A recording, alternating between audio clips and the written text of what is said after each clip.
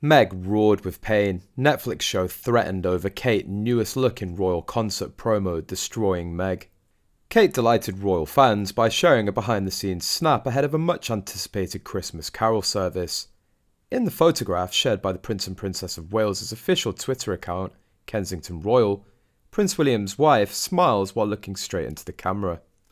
Behind her can be seen a fireplace decorated with a festive wreath a Christmas tree with red, white, and golden bows and baubles and wrapped presents. Fans were quick to take to social media to comment on the new picture. A fan account for the Waleses, at Love Wales Family, tweeted, The princess looks so beautiful. Can't wait for this year's Christmas concert.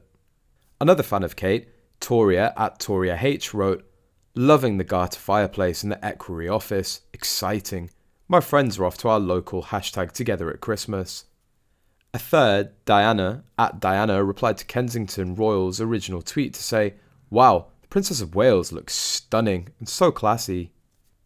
Finally, at Alpha Bella London, paid a major compliment to the royals, saying, I can't help but feel that in a very subtle way, Her Royal Highness the Princess of Wales is also standing in for our late Queen. First Christmas without our beloved Queen Elizabeth. What a wonderful and touching tribute the Princess of Wales has paid to her.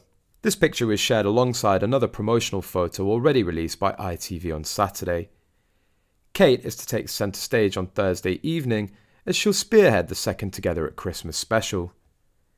A few hours prior, Netflix will have released the second half of Harry and Meghan, a docu-series including a first-hand account by the Duke and Duchess of Sussex about their life and struggles as working royals. The service, held at Westminster Abbey, will celebrate the importance of togetherness as well as people who've gone above and beyond to support their communities up and down the country.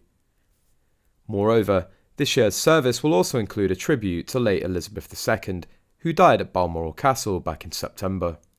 The Princess of Wales, who first launched Together at Christmas in 2021, will lead this initiative supported by Kate and William's Royal Foundation.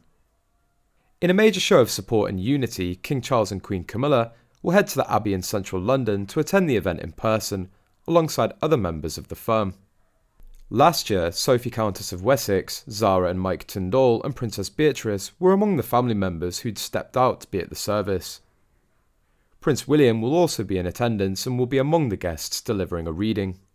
The carol concert, which promises to mix modern and tradition, will include a number of A-listers such as actor Hugh Bonneville and singer Mel C. The service will be televised by ITV on Christmas Eve, with the royal carols, together at Christmas. The broadcast will add extra footage, including a tribute to the late sovereign. Last year, ITV included in its programme a clip of Kate playing the piano to accompany singer Tom Walker, which took royal fans by storm. In other news, Meghan Markle and Prince Harry are a massive threat to the survival of the royal family. Royal family former divisional commander Dai Davies says that the Duchess of Sussex could pose serious damage to Prince Harry's relatives with her explosive Netflix confessions. Mr. Davies claimed, There's a small minority that think Meghan walks on water.